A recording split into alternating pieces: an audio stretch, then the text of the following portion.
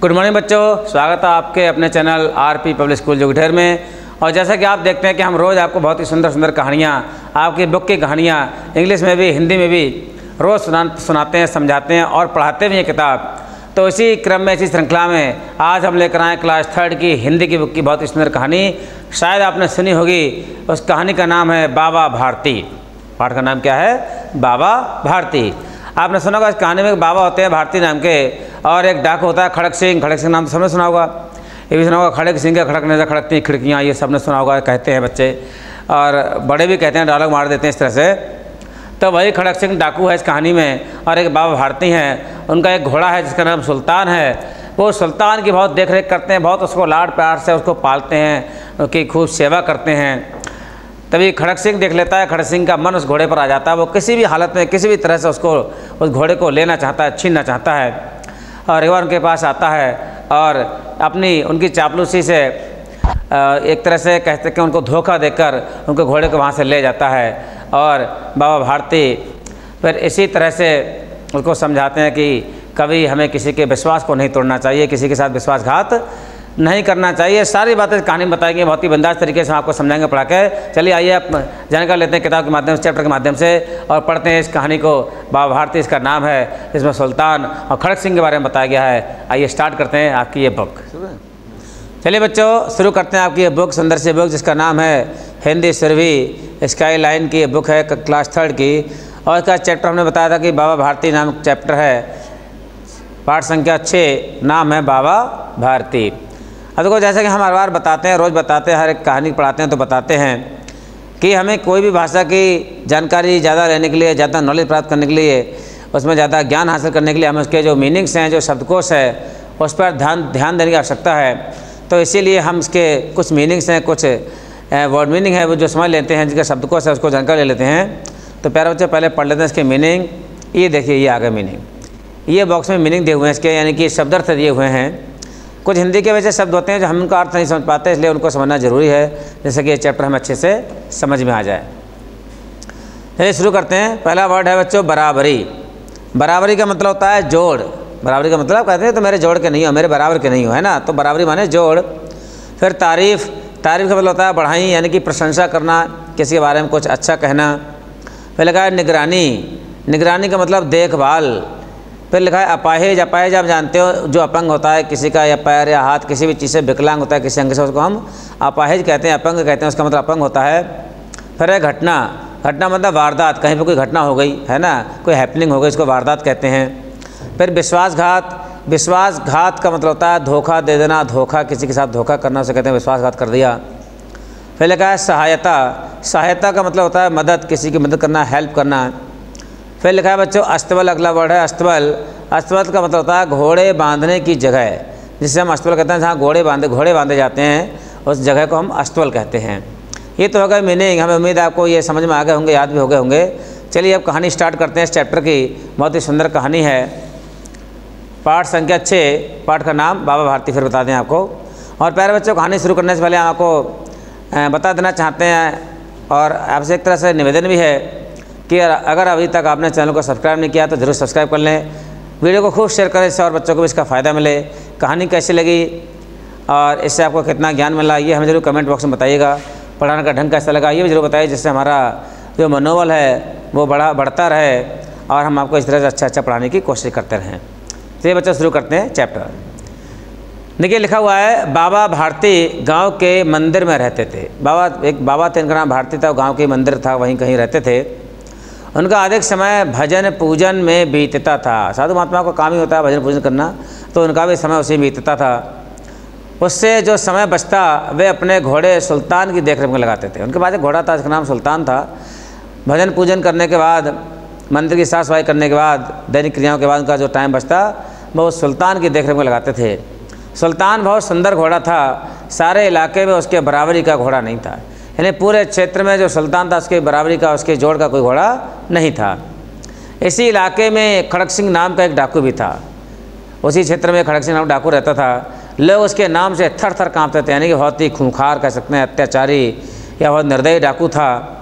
उसने किसी से सुल्तान की तारीफ़ सुनी। किसी ने उसको बताया कि बाबा भारती का बहुत अच्छा घोड़ा है, वो तुम्हारे लायक है, वो बाबा के पास क्या कर रहा है? इस तरह से उसने, उसको किसने बताया?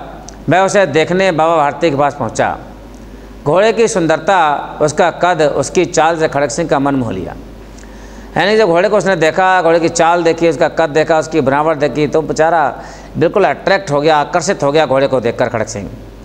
जाते जाते उसने कहा बाबा जी मैं यह घोड़ा आपके पास नहीं रहने दूँगा। बाबा जी मैं घोड़ा आपके पास? यानी कि वो बाबा जी को चेतावनी दे गया कि ये घोड़ा किसी तरह से मैं ले जाऊँगा। बाबा भारती डर गए। वो डर गए, कहीं ये मुझे मार ना दे, मेरे घोड़े को घोड़े को किस तरह से ले जाए? वे रात दिन अस्तबल की निगरानी करने लगे। कई महीने बीत गए। जब लंबा टाइम होता है तो आदमी बात को भूल जाता है। तो हो सकता है बाबा भूल गए हों। लेकिन गड़बड़ की कोई बात नहीं हुई। ऐसी कोई वारदात नहीं जैसा कि बाबा उसने खड़क सिंह ने कहा था कि घोड़े ले, घोड़ा ले जाऊँगा, ऐसी कोई बात नहीं हुई। अब वे निश्चिंत हो गए। उन्होंने सोचा, खड़क सिंह घोड़े की बात शायद भूल गया है। एक दिन शाम के समय बाबा भारती घोड़े पर घूमने जा रहे थे। रास्ते में एक अपाहिज बैठा था। अपाहिज मतलब अपंग, जिसका कोई हाथ या पैर खड़ा होता है उसको। वो अपाहिज नहीं था, वास्तव में वो, वही डाकू था। तो वह बोला, यानी अपाहिज बोला, ओ बाबा, मैं दुखिया हूँ। वो अपाहिज बोला, मैं, ओ बाबा, मैं दुखिया हूँ। मुझे, आगे क्या लिखा है? मुझे रा वो अपाहिज बोला, कि मुझे रामा वाला जाना है। घोड़े पर चढ़ा लो। भगवान तुम्हारा भला करेगा। अब क्योंकि संत महात्मा तो होते दयालु हैं। बाबा भारती उतर पड़े, उन्होंने उस अपाहिज को घोड़े पर बैठा दिया। बोले, चल भाई, तुम अपाहिज हो तो तुम बैठ कर चल लो, मैं तो पैदल भी चल लूँगा वे अपने आप लगाम पकड़कर धीरे धीरे चलने लगे। अचानक एक झटका लगा। घोड़े के लगाम बाबा भारती घाट से छूट गई यानी कि वो अपाहिज नहीं था। वो वही खड़क सिंह डाकू था जो घोड़ा लेने की बात कर गया था। उसे अपाहिज ने अपने हाथ में लिया, वे चौंक पड़े, वह तो खड़क सिंह था। उसने घोड़े को एक एड़ लगाई, बाबा भारती ने चिल्ला कर उससे कहा यह घोड़ा अब तुम्हारा हो गया, लेकिन मेरी एक बात मान लेना। इस घटना के बारे में किसी को कुछ बताना मत। बाबा भारती ने कहा कि इस घटना के बारे में किसी को कुछ ना बताना। अब ऐसा क्यों कहा? तो देखो, खड़क सिंह पूछता है। खड़क सिंह ने पूछा, आखिर क्यों? आखिर मैं क्यों नहीं बताऊँ इसके बारे में? तो बाबा भारती बोले इसलिए कि इस घटना को सुनकर आगे चलकर लोग किसी गरीब पर विश्वास नहीं करेंगे। जब ऐसी बात बाबा भारती ने उस खड़क सिंह से कही तो खड़क सिंह तो चला गया, परंतु बाबा की आवाज़ उसके कानों में गूंजती रही। वो सोचने लगा, यानी उसको बार बार वही बात याद रहती, बाबा भारती ने कहा था कि कोई गरीब की गरीब पर विश्वास नहीं करेगा। तो बाबा भारती कितने महान हैं, वो सोचता रहा उसके बाद कानों में ये बात गूंजती रही और सोचने लगा कि बाबा भारती कितने महान हैं। उन्हें अपनी हानि की कोई चिंता नहीं। ऐसा आदमी आदमी नहीं, देवता होता है। और देखो, उसका हृदय परिवर्तन होने लगा, उसका मन बदलने लगा, और उसने सोचा कि ऐसा आदमी आदमी नहीं, बल्कि क्या होता है? देवता होता है। ऐसे आदमी के साथ विश्वासघात नहीं करना चाहिए। खड़क सिंह को अब समझ आ गया कि मुझे ऐसा नहीं करना चाहिए। खड़क सिंह को अपने किए पर पछतावा होने लगा। उसका मन बदल गया। एक रात वह घोड़े को चुपचाप बाबा भारती के अस्तबल में बाँध आया। उसका मन बदला, उसका हृदय परिवर्तन हुआ। उसने अपनी गलती को सुधारा, पश्चाताप किया और घोड़े को वापस वहीं पर बाँध गया। अगले दिन बड़े सवेरे बाबा भारती नहाकर वापस आ रहे थे। घोड़े ने अपने स्वामी के पैरों की आवाज़ पहचान ली। मैं हिन हिन आया। बाबा भारती ने सुल्तान की आवाज़ पहचान ली। वे अपने घोड़े से लिपट कर रोने लगे। वे बोले, अब कोई गरीबों की सहायता से मुँह ना मोड़ेगा। उनको विश्वास हो गया कि कि मेरी बात से जो खड़क सिंह है, उसका हृदय हृदय परिवर्तन हुआ, उसका मन बदला है।